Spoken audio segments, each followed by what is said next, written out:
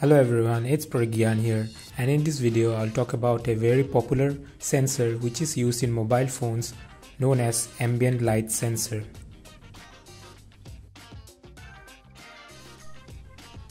An ambient light sensor helps to measure the amount of light in the surrounding and adjust the screen brightness accordingly.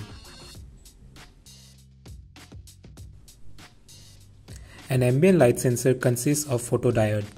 A photodiode is a device which is sensitive to different spectrum of light and it can convert light into current. You can find an ambient light sensor in the front of your mobile phone, normally at the top near your front camera.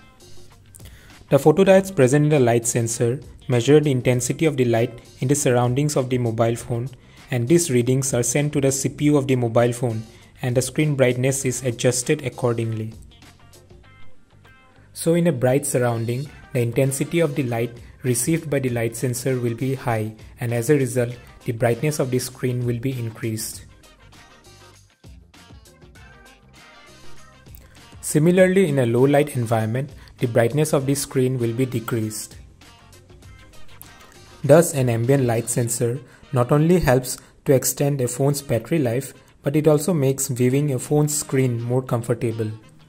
So that's it guys. If you like the video, hit the like button and if you want to see more videos like this, please subscribe to my channel. Thank you for watching and I hope to see you again in my next video.